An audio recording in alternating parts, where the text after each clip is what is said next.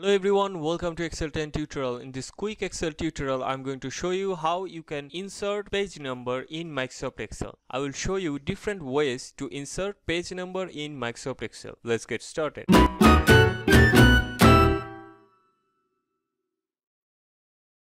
Now, first I would like to thank Ruin, Nicholas and Susan for becoming patron on patreon.com slash excel10 tutorial. Thank you very much. Your support means a lot to me. Thank you. Now, if you want to support the channel like Ruin, Nicholas and Susan, you can join our Patreon page which is patreon.com slash excel10 tutorial. Link will be in the description. Please check that. And now, Let's insert page number. The first way I'm going to show you is click on the view tab and you can see here we are in the normal mode. If I click page layout and now if I hover here you can see we have option to add header and if I scroll down we have option to add footer. Now usually we insert page number in either header or footer and you won't be able to see the page number until you are in page layout mode or you are printing your worksheet okay? Usually we use page number when we want to print it. So in the footer we can add our page number and we can print it. And when we print it the page number will be printed also. If i click on the footer here you can see new tab has been opened which is design tab and under the header and footer tools okay? Now this tab only appears whenever you click on footer or header okay? Now take a look at here page number. If i click here you can see this text has been pasted here. And if if I click on anywhere of this worksheet you can see we have a hash because we don't have any text in any of this worksheet. If we had text here let's write something here and click somewhere else. So that means we have text in sheet 1 and now we have the page number automatically inserted here. Okay? Now let's click here again. We have page number and now I want to add also total page number here. Okay? So space and if I write off again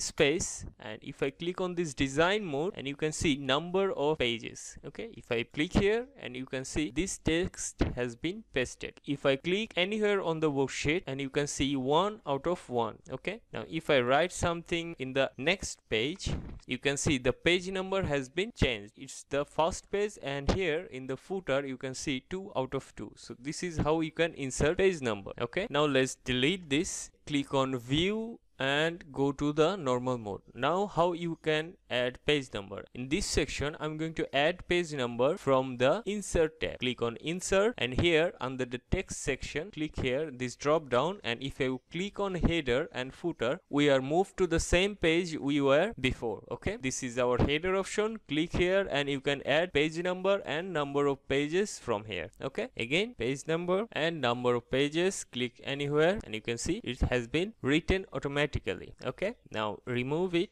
and go back to the normal view mode. Next option is to click on the page layout tab and under the page setup click on this arrow okay? Now this will open the page setup pop-up and you can click on header and footer okay? And if you want to insert page number in header or in footer you can adjust it from here okay? Now if i click on the drop down and you can see page number one that means if you select this it will only show you the current page number okay? And if you select this format it will show you current page number and number of pages okay? So there are different type of formatting here. You can select it and i'm going to select this one. So this is our header okay? And if i click ok and if i go to the view and page layout option you can see our page number has been added. So how we added it here? Page layout and page setup okay? Now there are different option here different first page. If you have a first page that is different you can select it here. First page header and footer will be different and different odd and even pages. You can select that here okay? If i click ok so this is how you can insert page number in microsoft excel. This is what i wanted to show you. Thank you. Thanks for watching. See you in the next tutorial. And don't forget to subscribe. If you can support the channel through patreon which is patreon.com slash excel10 tutorial. Thank you. Thanks for watching